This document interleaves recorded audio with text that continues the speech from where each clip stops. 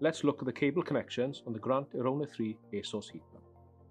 The remote controller is connected to the terminal PCB located behind the wiring cover at the right hand end of the Aerona heat pump.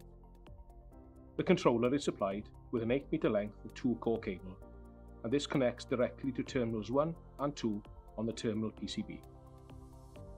This can be extended up to 30 meters using 0.5mm twin cable. Anything over 30 meters and up to 100 meters, 1mm shielded cable is required instead. The braided shield can be connected to terminal 3 on the terminal PCB. This will reduce the risk of interference caused by the controller cable being in close proximity to the power supply.